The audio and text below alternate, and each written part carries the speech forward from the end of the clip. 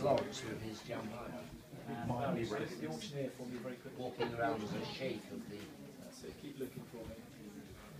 We'll look around the room from the, uh, the bidders. Okay. Back to the auctioneer. Very nice quality, this, you bought it. Good, thank you. Cost one it, as you for Yeah, I know. Very, very inexpensive.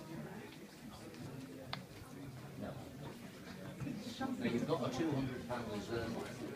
If it gets up to a price and it's, it's an offer, do you want to let it go?